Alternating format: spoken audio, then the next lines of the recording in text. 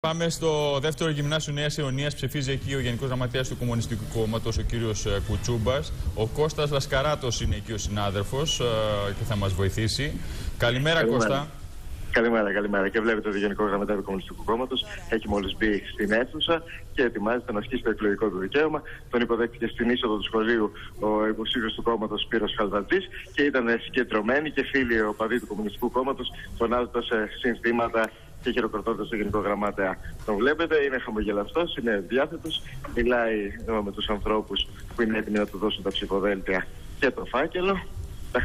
Και τώρα γίνεται αυτό ακριβώς. Του δώσαν τα ψηφοδέλτια, το φάκελο και ετοιμάζεται να μπει. Λίγη αναμονή, καθώς κάποιοι ψηφοφόροι είναι ήδη πίσω από τα παραβάν. Περιμένει λοιπόν και ο Γενικός Γραμματέας να περάσει στη διαδικασία, να ασκήσουν το εκλογικό τους δικαίωμα οι πολίτες, να βγαίνει ο πρώτος και ετοιμάζεται να μπει και ο Γενικός Γραμματέας. Ο κύριος Κουτσούμπας, ο οποίος το τελευταίο διάστημα νομίζω έχει γίνει έτσι, έχει χαλαρώσει, έχει ένα λόγο ιδιαίτερα απολαυστικό και τον είδαμε κιόλας και σε αυτό το, τα ούζα που λένε του Σαββάτου που έκανε και το χαβαλέ του και την πλάκα του με το ρολόι και αν αυτό το ρολόι είναι ακριβό, πανάκριβο ή αν είναι το 10 ευρώ. Έτσι. Είναι γεγονός, είναι αρκετά χαλαρός ο Δημήτρης Κουτσούμπας το τελευταίο διάστημα. Ε, έχει έναν διαφορετικό αέρα θα λέγαμε.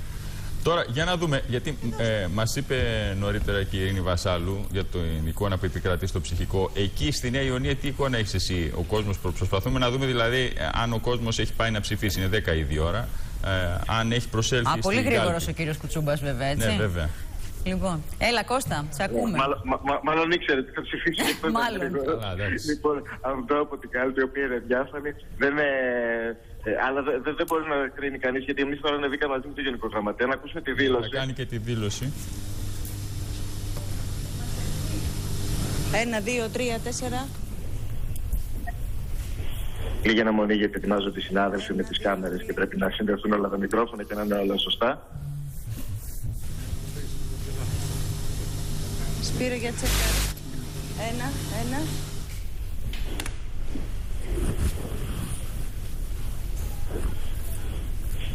όλα αυτά τα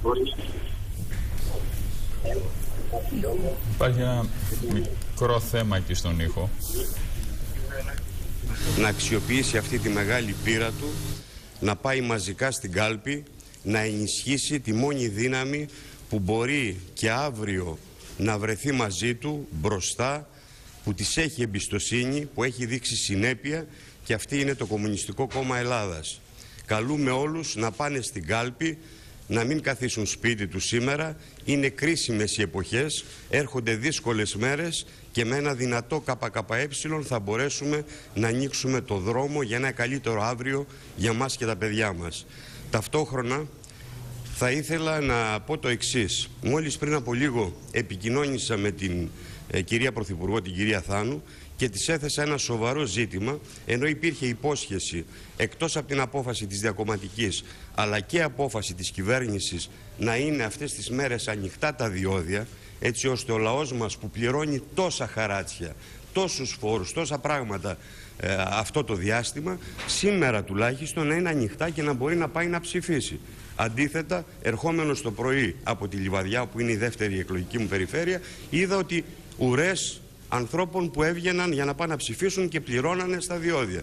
Η κυρία Πρωθυπουργός μου υποσχέθηκε, ευχαρίστησε για την ενημέρωση καταρχήν. Η ίδια είχε ενημέρωση ότι θα δινόταν σήμερα εντολή για να είναι ανοιχτά τα διόδια, αλλά μέχρι στιγμής δεν ισχύει. Μου είπε ότι θα επιληφθεί του, του θέματος, ελπίζω ε, να ευοδοθεί αυτή ε, η προσπάθειά μας. Δεν μπορεί ο λαός μας ακόμα και σήμερα που πάει και πρέπει να ψηφίσει, να επιλέξει τα κόμματα που θα το εκπροσωπήσουν, να πληρώνει χαράτσια στους εθνικούς δρόμους, που άλλωστε έπρεπε να είναι λαϊκή περιουσία.